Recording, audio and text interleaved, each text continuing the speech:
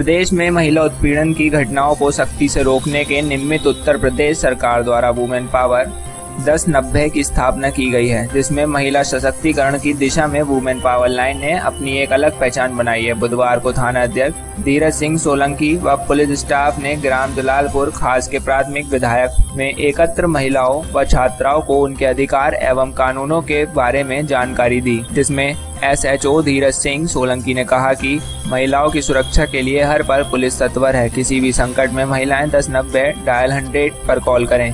Police उनकी सुरक्षा के लिए फ़ौरन मौके पर पहुंचेगी और कहा कि आज की महिलाएँ किसी भी क्षेत्र में पुरुषों से पीछे नहीं है, वहीं अभिभावकों को चाहिए कि वह भी अपनी बेटियों को बेटों के बराबर का अधिकार दें ताकि आगे चलकर बेटी भी परिवार का नाम रोशन करे।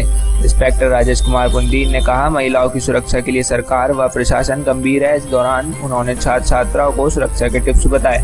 उन्होंने महिला हेल्पलाइन के नंबर दस नब्बे और डायल हंड्रेड के प्रयोग के बारे में बताया। कहा कि सरकार महिलाओं की सुरक्षा के प्रति गंभीर है। किसी भी परेशानी में महिलाएँ सीधे डायल हंड्रेड, दस नब्बे नंबरों पर डायल कर सकती हैं और कहा कि महिलाएँ किसी भी दशा में पुरुषों से कम नहीं हैं, बेटियों को भी आगे बढ़ाया जाना चाहिए। या तुम्हारे ताऊ या चाचा घर में शराब पी के आता है कोई, या तुम्हारी मम्मी से बदतमीजी करता है तो तुम सीधे सीधे दस नब्बे नंबर लगा दो, या सौ नंबर लगा दो। One double zero, one double zero, कौन सा नंबर लगाओगे? या दस नब्बे, वन ज़ीरो, नाइन ज़ीरो कितना हाँ देखो, या फिर तुम्हारे तुम पे कोई, तुम्हारा कोई हेरसमेंट नहीं कर रहा, हो सकता है तुम्हारे मोहल्ले या पड़ोस में कर रहा हो।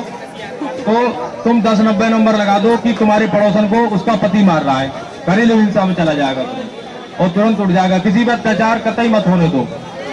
और तुम एक दिन सहती रहोगी, वो लगातार एक दिन धमकाएगा, अगले दिन एक झापड़ मारेगा, तीसरे दिन दस झापड़ मारने को तैयार रहेगा। और फिर चौथे, पाँचवें दिन तो लाठी लेके तैयार मिलेगा कि बगैर लाठी की सुधरेगी। गवर्नमेंट ने एक योजना बना रखी है, दस नब्बे एक ये मोबाइल नंबर है, दस नब्बे आज मोबाइल से लगभग सभी के पास है। ये दस में आपका पति परेशान कर रहा है या बाहर कोई छेड़छाड़ जैसी कोई भी घटना है तो आप दस नब्बे को कॉल करिए। दस नब्बे को आप अगर जब कहीं भी मतलब किसने कॉल किया था? आपके पड़ोस में कोई मारपीट कर रहा है?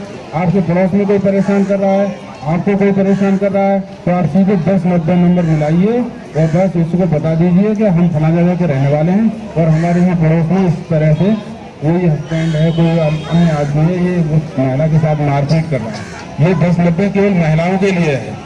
कि महिला अपना, अपने मोबाइल से करा दे, किसी दूसरे नंबर से करा दे, लेकिन उसकी पहचान को गोप नहीं रखा जाएगा। उसे किसी को ये नहीं बताया जाएगा कि ये कॉल कहाँ से आएगी। सीधे सीधे जो परेशान कर रहा होगा उसको पकड़ा जाएगा। उसकी बात सुनी जाएगी। अगर उसकी बात जायज़ है तो उसके खिलाफ कानूनी कार्रवाई की जाएगी। ये महिलाओं के लिए एक विशेष अधिकार है।